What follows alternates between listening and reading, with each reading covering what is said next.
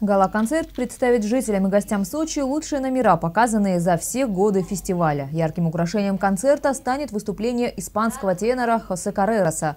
В этом году состав участников Сочи станет одним из самых звездных. На сцену выйдут Диана Гурцкая, Дима Билан, Сосу Павлиашвили, Анита Цо, Александр Олешко, Марк Тиш, Манзара, группа А-студио и другие.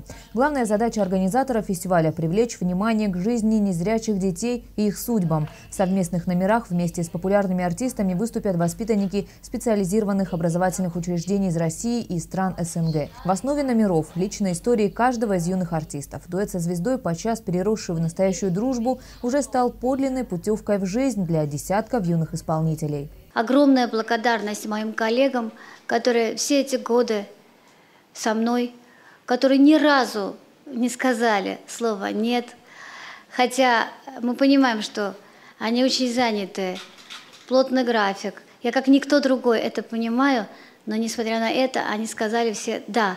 Да, конечно.